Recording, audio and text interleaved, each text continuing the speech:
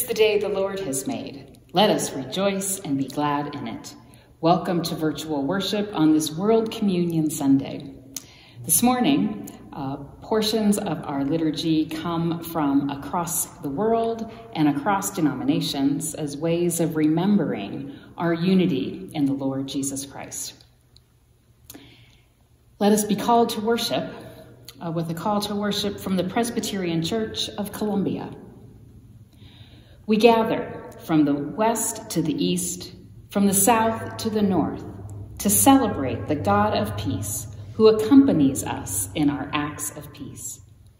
This God of peace accompanies us in each and every circumstance around us. We praise God's name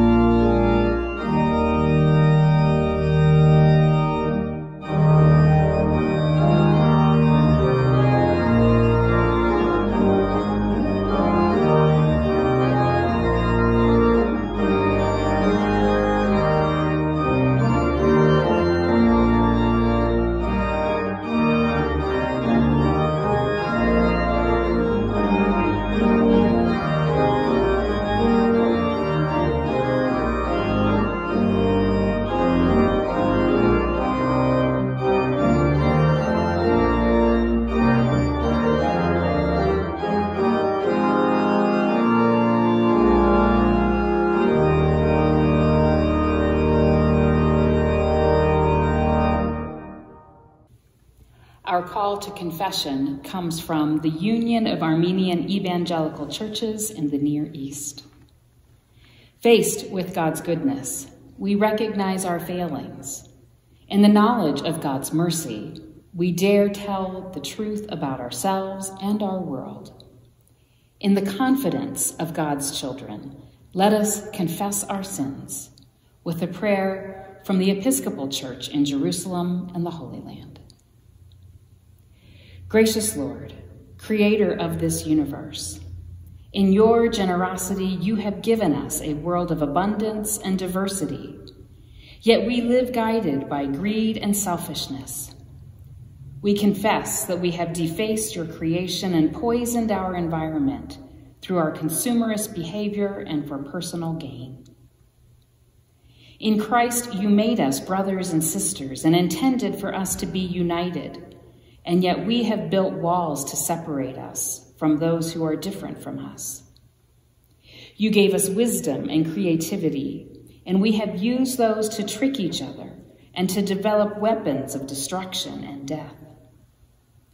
You gave us laws to order our lives, and we have abused them to take revenge and punish our enemies. We love war rather than strive for peace. We ignore the poor and the weak and, are, and honored the rich and powerful. In all this, we have not lived according to your will. Forgive us, Lord, for daring to boast in our human achievements and for failing to recognize that you alone are worthy of praise. In your mercy, forgive us our sins. From the Union of Armenian Evangelical Churches in the Near East, hear this declaration of forgiveness. From Philippians and Ephesians, God accepted us simply because of our faith in Christ, through whom our sins were forgiven. May God help us to continue to preach peace to those who are near and far. Amen.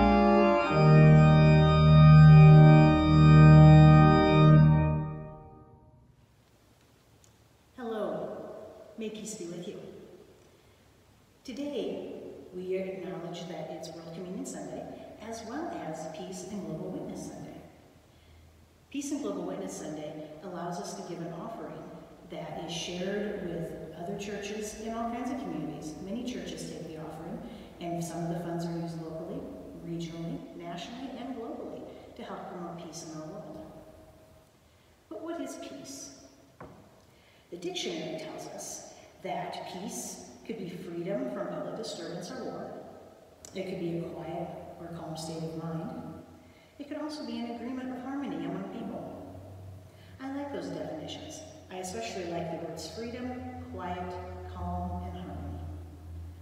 But what does the Bible tell us about peace? This passage comes from Paul's second letter to the Thessalonians. May the Lord of peace himself give you peace, always and in every way.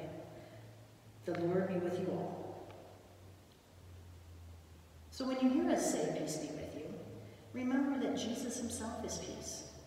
And we are saying, May calm be with you, may freedom be with you, may tranquility be with you, and above all, may Jesus, our Lord, be with you. Now, like I said, it's also World Communion Sunday. World Communion Sunday is a Sunday where Christians all over the world all take communion and remember Jesus' gift to us. So I want you to take a look at this picture. It's a marvelous view of the Earth. Photos like this one show the Earth from space. They're so beautiful, with all the colors and the swirling clouds, a sense of beauty and tranquility and mystery in this photo. It reminds us that we're all here on the same Earth together. But there's something this picture is missing. Have you noticed it? No lines. Pictures like this remind me that God made the earth in one beautiful whole. It was the people who added the lines. So as you remember to celebrate communion today, and maybe make a donation for Peace and Global Witness Sunday, remember that the Lord of Peace is always with you. Let's say a prayer. Lord, thank you for your love. Thank you for sending Jesus' peace to the world. Help us all to remember that you made one world for us and that you gave Jesus as your son. Amen. Peace be with you. Our prayer for illumination comes from the Evangelical Church of Czech Brethren. Holy Spirit, grant us openness and give us understanding of what each one of us needs to receive through Holy Scripture. When we are facing a difficult choice between the easy and the right decision, help us to choose the narrow path. We also pray for all who are about to set on an adventurous journey of faith anywhere in the world. Amen. This is our third Sunday of looking at Paul's letter to the Philippians and the theme of resilience. The first Sunday, we heard that resilience is an ability to recover from or adjust easily to misfortune or change. It is the ability a tree has to bend and sway in the wind rather than uprooting or snapping in half. Last Sunday, you may recall the Shaker song, bowing and bending and turning, making room for one another, to focus on the one thing, the mind of Christ. Paul is an example for us of the mind of Christ. How do we see it play out in his life? We will find out this morning in our text. Let us listen for what the Spirit is saying to the church today from Philippians chapter 3, verses 4 through 14. If anyone else has reason to be confident in the flesh, I have more.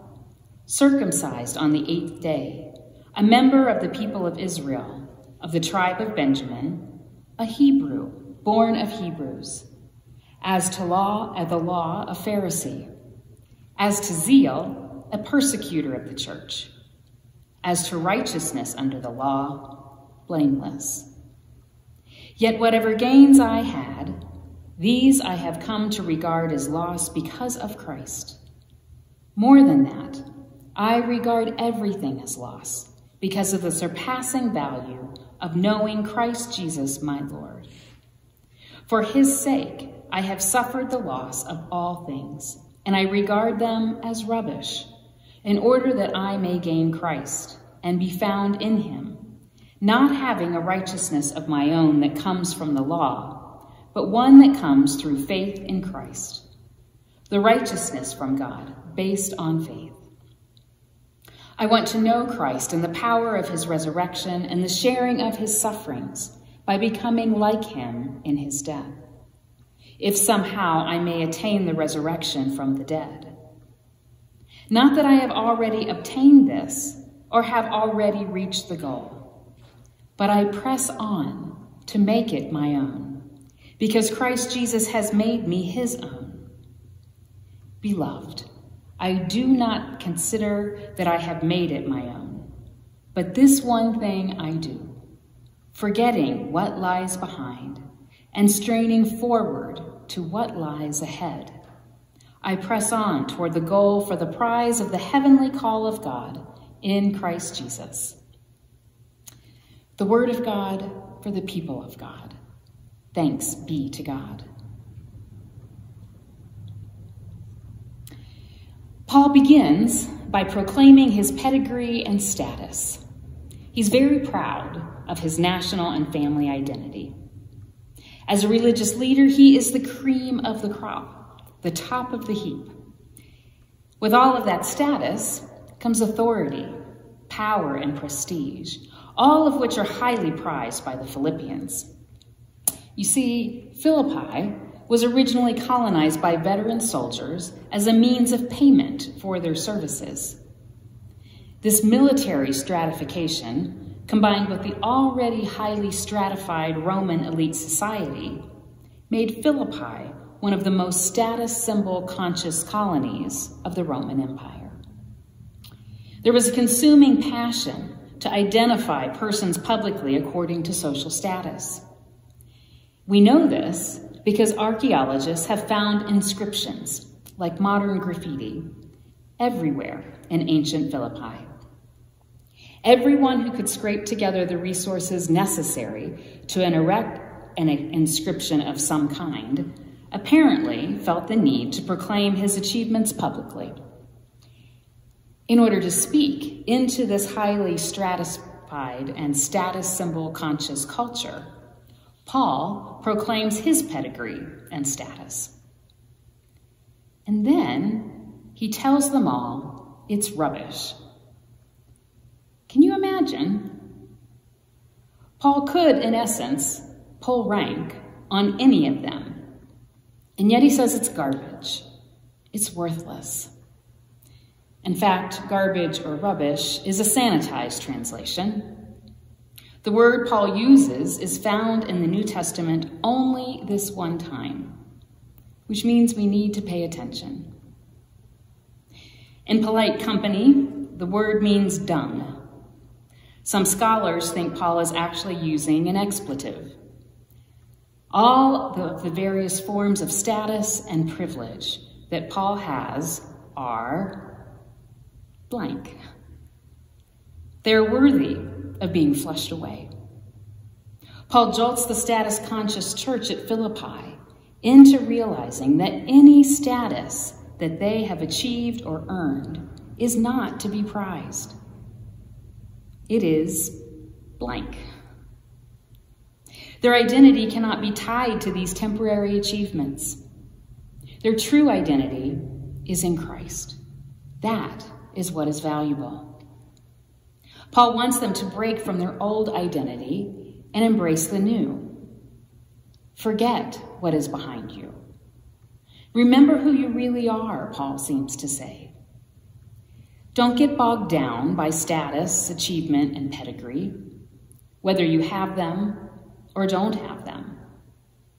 Your identity is in Christ, who has taken hold of you, who has unleashed the power of the resurrection in your life. Remember who you really are and press ahead to the future God has for you. Uh, Bernard Kempler, a clinical psychologist and Holocaust survivor, claims that one of the important attributes of resilience is a clear boundary between what was and what is. He uses his own life experience to illustrate what he means. He was born in 1936 to a Polish Jewish family in Krakow, Poland. He was a little more than three years old, and his sister Anita was five when German armies marched into Poland on September 1st, 1939.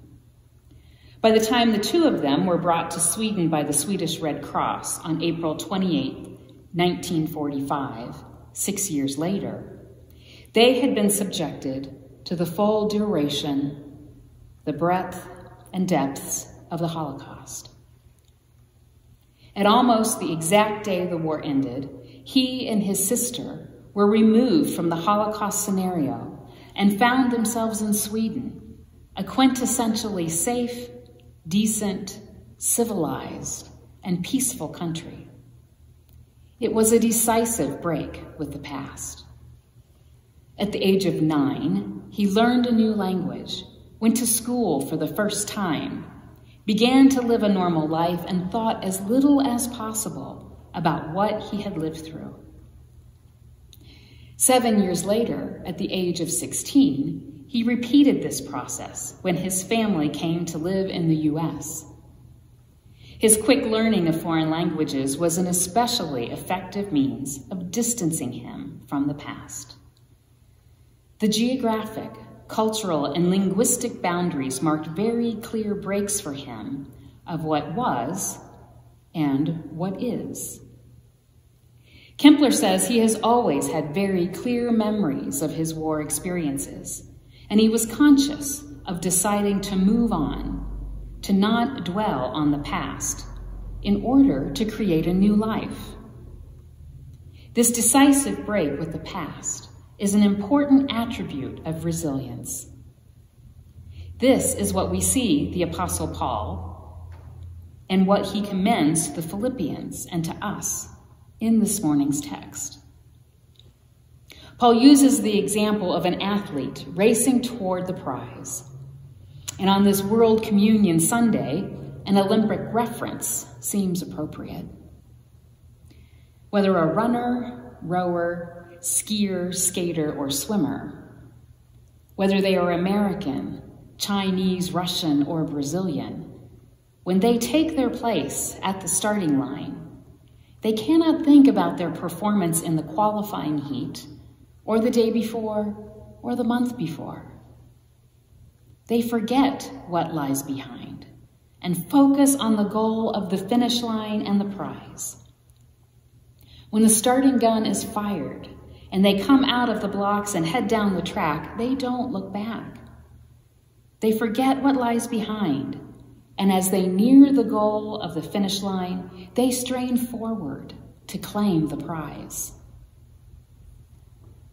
forgetting what lies behind and straining forward to what lies ahead.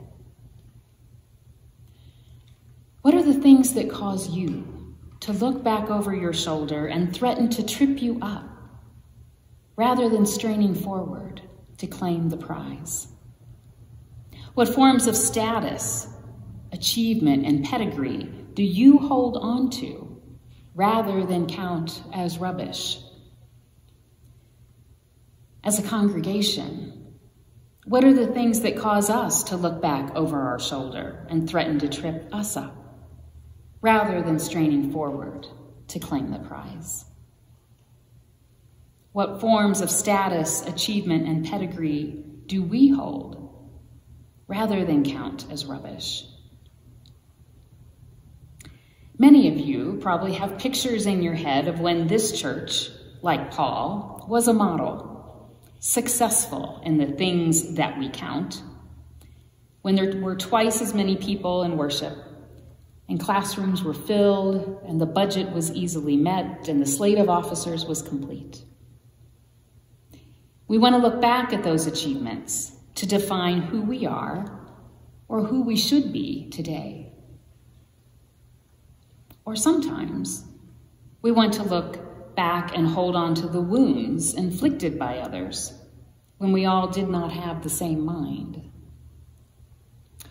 Either way, whatever part of the past you were holding on to, Paul says, forgetting what lies behind and straining forward to what lies ahead. Looking to the past Believing that our best days are behind us does not improve our resilience, nor does being fearful of the future and the challenges that it may hold.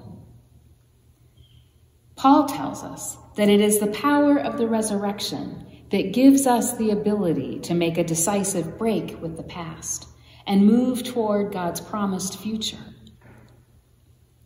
Becky Pippert says it this way what enables us to live this new life is the power unleashed by Christ rising from the dead. He did more than die and pay the penalty of sin. He was raised from death itself. And the very power God used to raise him is the power made available to us. Through the resurrection, God now offers us new life.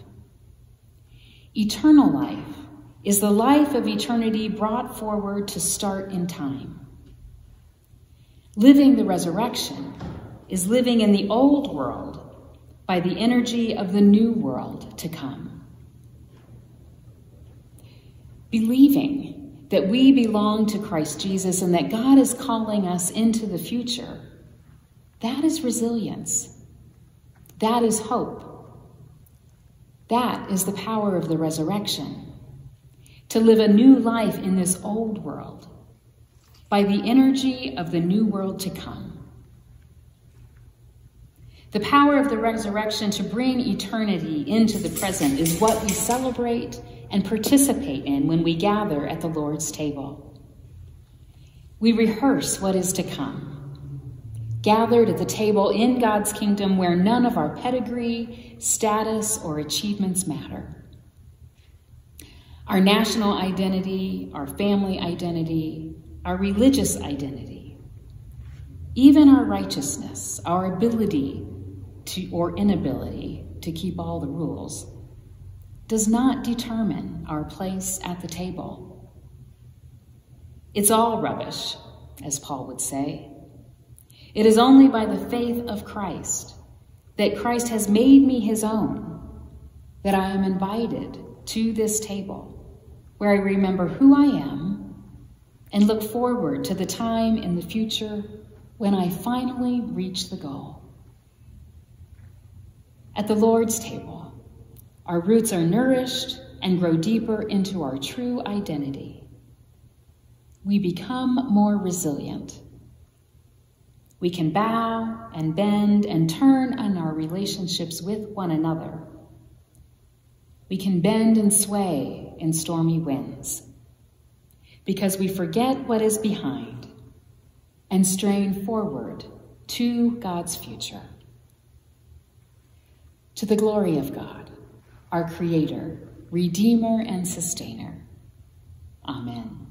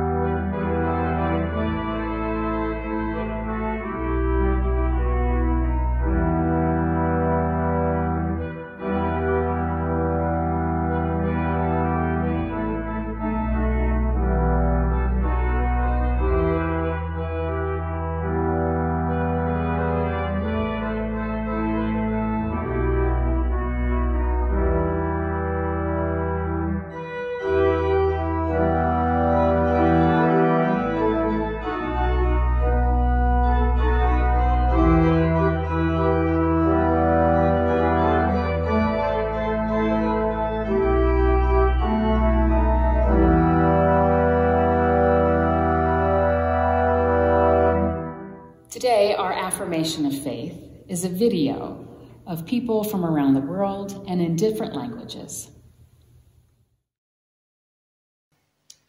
ndikhulupirira mulungu atate wamphamvu yonse olenga zakumwamba ndi zapansi y en Jesucristo, su único Hijo, Señor nuestro, jenž se počal z Ducha Svatého, narodil se z Marie Pany, die geleden heeft onder Pontius Pilatus, is gekruisigd, gestorven en begraven, nedergedaald ter helle, την τρίτη μέρα αναστάντα από των νεκρών, ανελθόντας στους ουρανούς, καθεζομένων εν δεξιά Θεού Πατρός Παντοδυνάμου. a fianno gli affini Tsarafilla Simma. ข้าพเจ้าเชื่อวางใจในพระวิญญาณบริสุทธิ์ และเชื่อมั่นในสากลคริสตจักรบริสุทธิ์ وبشركة القديسين وبمغفرة الخطايا a test feltámadását és az örök életet. Ámen.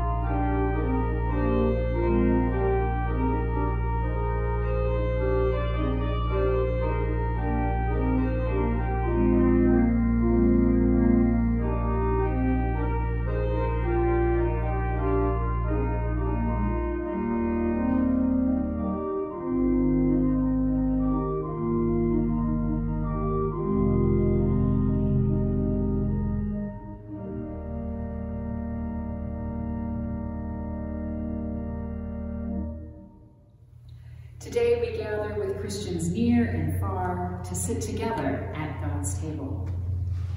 Together we will eat the bread of life and drink the cup of salvation. God prepares the table with room enough for everyone. We give praise to God who invites us all to the feast. Let us give our thanks to God. Loving God, creator and sustainer of all life, you planted the first fields, wheat, barley, rice, and maize, and made us in your image to care for your creation. You fed your people in the wilderness with manna from heaven, leading them to a land of milk and honey. When human greed trampled the poor, you spoke through the prophets, calling us to worship you with justice and peace. Then in the fullness of time, you sent Jesus Christ, the living bread, to lift up the oppressed and lowly and fill the hungry with good things. Therefore we praise you, joining our voices with choirs of angels, with prophets, apostles, and martyrs, and with all the faithful of every time and place, who forever sing to the glory of your name. Holy, holy, holy Lord, God of power and might, heaven and earth are full of your glory. Hosanna in the highest. Blessed is he who comes in the name of the Lord. Hosanna in the highest. You are holy, O God of majesty, and blessed is Jesus Christ, your word made flesh. He taught us to share the abundance of your love, feeding the multitude, eating with sinners and strangers, offering his own body to save us, and pouring out his life for the world. When the risen Christ appeared to his disciples, he made himself known to them in the breaking of the bread. Even now, he sets the table for us, inviting all to taste and see that you are good. Remembering your gracious acts in Jesus Christ, we take from your creation this bread and this cup, and joyfully celebrate his dying and rising as we await the day of his coming. With thanksgiving, we offer our very selves to you to be a living and holy sacrifice dedicated to your service. Gracious God, pour out your Holy Spirit upon us and upon these your gifts of bread and cup, that the bread we break and the cup we bless may be the communion of the body and blood of Christ. By your Spirit, make us one with Christ and one with all who share this meal, united in ministry in every place. As this is Christ's body for us, send us out to be Christ's body in the world. Just as the grain once scattered across the hills was gathered together in this loaf of bread, gather your people from the ends of the earth, so that we may feast with you in glory, in the joy of your new creation. Through Christ, with Christ. In the unity of the Holy Spirit, all honor and glory are yours, Almighty God, now and forever. Amen. And now, with the confidence of the children of God, let us pray together. Our Father, who art in heaven, hallowed be thy name. Thy kingdom come, thy will be done, on earth as it is in heaven. Give us this day our daily bread, and forgive us our debts, as we forgive our debtors. And lead us not into temptation, but deliver us from evil.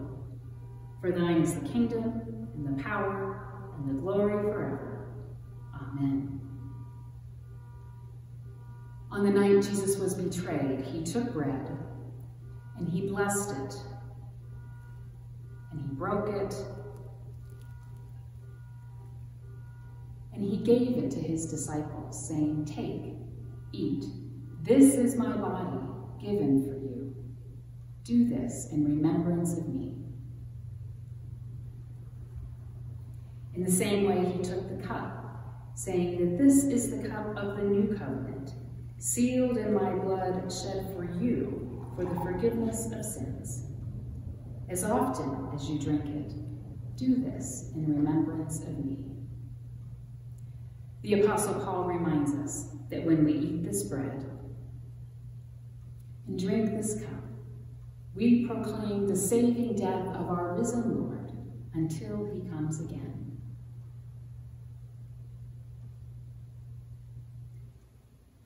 This is the body of Christ, given for you. Let us eat it together.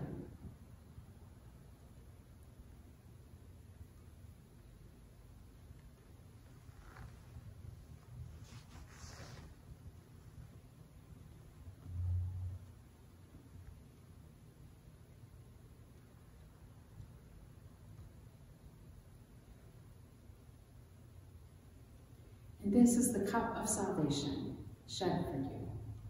Let us drink it together.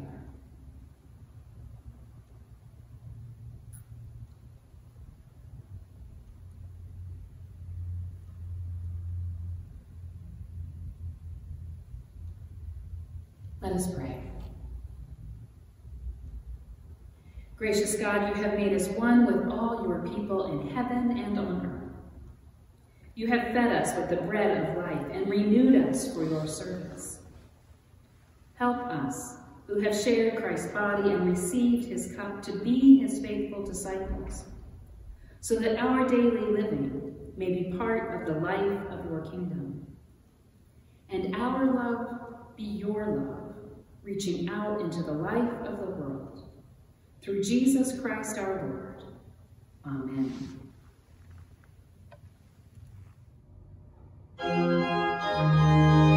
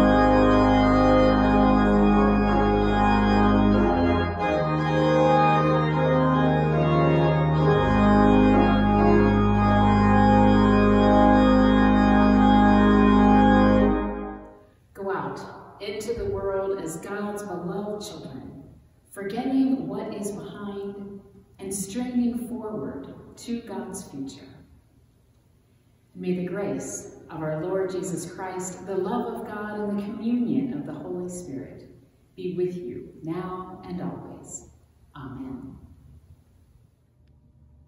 Amen.